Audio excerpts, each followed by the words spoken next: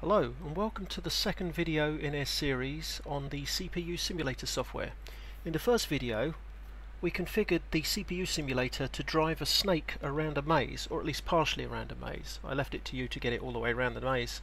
What we're going to do this time is we're going to use the same CPU simulator software to control a set of traffic lights. And we're going to try to simulate the sequence of the UK, the United Kingdom, traffic light sequence, which I think I've got right.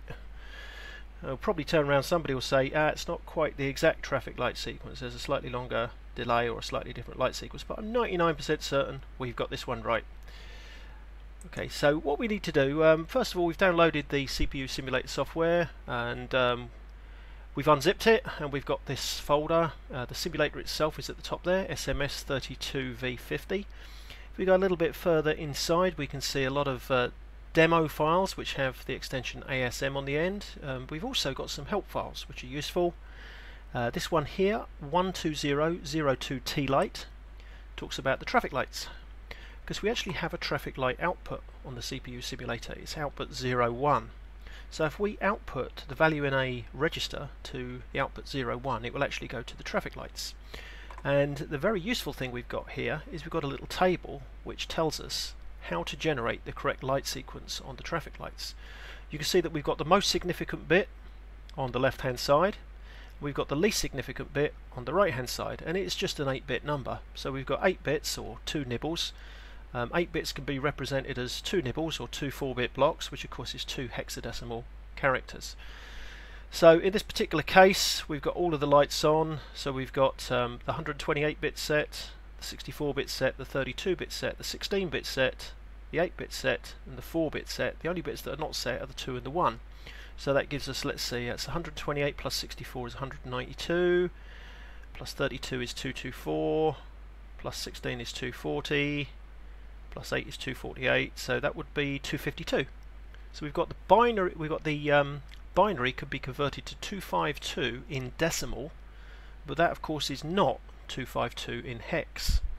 In fact, what we would do is we would convert the first four bits, so that's 1, 1, 1, 1, into 15, because we've got the 8-bit, the 4-bit, the 2-bit, and the 1-bit. So that would give us a value of 15, which in hex is F. And then we would have the remaining uh, bits, which is a, the 8-bit and the 4-bit of the second hex character. 8 and 4 is 12. Um, 10 is A, 11 is B, 12 is C, so that would be FC.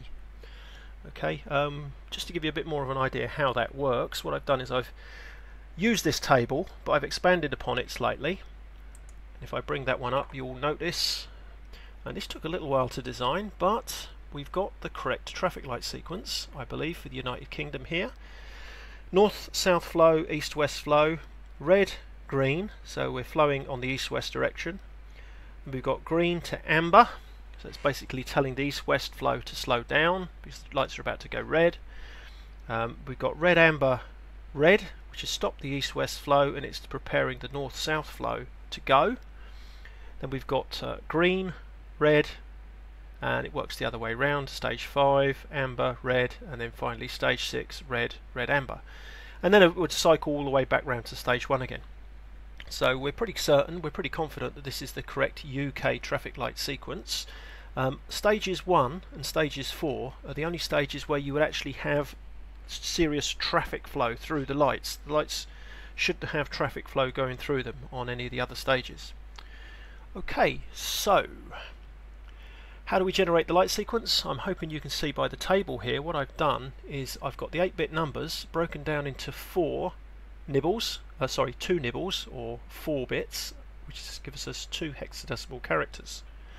Um, you can see that we've got red, amber, green, red, amber, green, and then the last two, the two least most significant bits are unused.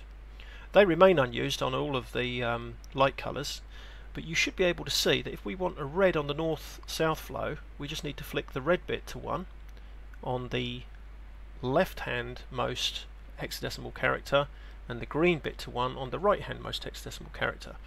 And equally, if we want a red and an amber, it's just the red bit to 1 on the left hand side and the amber bit to 1 on the right hand side and it's fairly obvious to work out from there.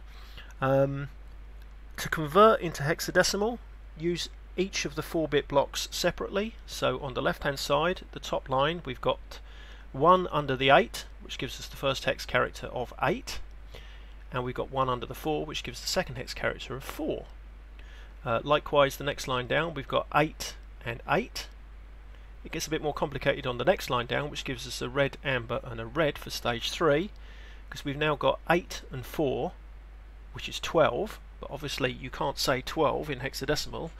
Um, 10 is A, 11 is B, and 12, sorry, 10 is A, 11 is B, 12 is C, ah, it's 13.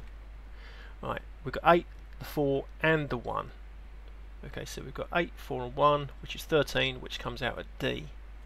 Okay need to read my own table properly there. Um, next one along we've got the 2 and the 1 bit which gives us 3 and then a 0 so 3 0 and I'm hoping you can follow exactly how that works.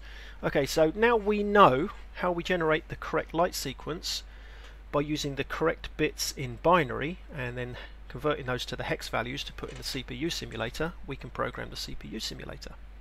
Superb. So I'm now going to bring the CPU simulator up and we'll start programming. Okay, so the very first thing we need to do is just type start to start the line of code and then we'll use a semicolon which is a comment and we will say red um, I'll just use the pipes and green to start off with uh, red and green require let's just use the tab to make it look a bit prettier that we move into the AL general purpose register the value that will give us a red and a green light. So move into the AL register, comma, and what value is that? If we look back, we can see that it's a value of 84. Gives us a red and a green light. So 84. Now that won't give us a red and green light until we output that to the traffic lights output. We do that by typing out for the output command and the traffic lights are on 0, 1, or on the 0, 1 output. So that should do the job. Now what we'll do is we'll just speed things up a little bit. I'll just copy that and paste it in a few times. Whoops, pardon me. Right. How many stages have we got? We've got six stages. So we'll do that six times. That looks good. And then we'll convert them for the other colours. So we want red amber. That's the second one amber and then we need to move into the traffic light sequence the value of 88 to give us a red and an amber because it's the 8-bit on both hexadecimal characters. Okay, so if we change that from 84 to 88, that will give us a red and an amber, and then output that to 0, 1, so as it outputs to the traffic lights. Um, the next one is actually slightly unusual because that's red and amber at the same time with um, a red on the other side to stop the traffic on the east to west flow. Okay, and to do that we need to have D0. Um, that will then go next to green, followed by, when that's on green, the other side must be on red, otherwise it's going to be a really serious collision. Um, green red is, as you can see, the green on and the red on will be uh, the two character, the one character which gives us three in the first hexadecimal digit and zero in the second one, so that's three zero. So we want three zero in there. Output that to the output for the traffic lights. Uh, next, we wish to have amber. Amber followed by red. And amber and red would be 5 0 which I don't really need to flick backwards and forwards. I can see what's written on there. And then finally we want to have a red amber on the right hand side um, followed by uh, let's have a look. Ah red and red amber. Superb. Which would be 9 8 in hexadecimal. And 9, 8 would give us what? Would give us the red, that's the 8, and a red and an amber, which gives us a 8 plus 1 is 9 followed by 8 in the second character. So we've got a 9, 8 for stage 6. And then it would just repeat around. In fact, we need to make sure that we get it to repeat around now. So the next thing to do would be to uh, use jump. Jump command to jump back to the start that's looking reasonable and don't forget to finish your program with end otherwise you'll have problems when you run it. So let's just run through this in our heads. We've got start, we've got red green, move to the AL register 84 which is the binary code to give us red and green um, represented in hexadecimal in the actual assembly language there. Output that to 01 which outputs it to the traffic light controller. This looks good, red amber 88 output to 01 Yep, that looks fine. So what we will do is we'll try stepping through that first of all. So if we now go to step, it will ask us to save it. I'll just stick it somewhere on the desktop. Just call it uh, test underscore lights. That'll do. .asm. Okay, there's our RAM editor. We can see the various things that are going to happen. Move AL84, output to 1, then move AL88, output to 1, etc. for the first two stages there.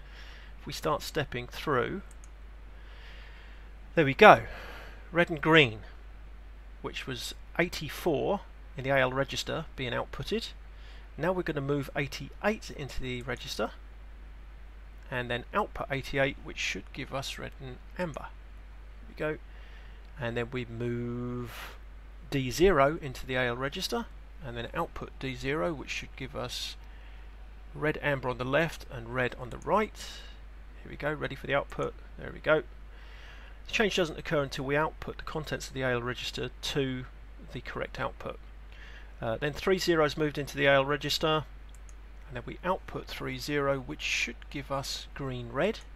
And it does. And then we put 50 in which should give us amber red. Output 50 and there is your correct traffic light sequence. And then it just works its way around it starts all over again. And it should jump and away we go. Right so let's uh, let's run that. Go. There is your traffic light sequence working. Okay.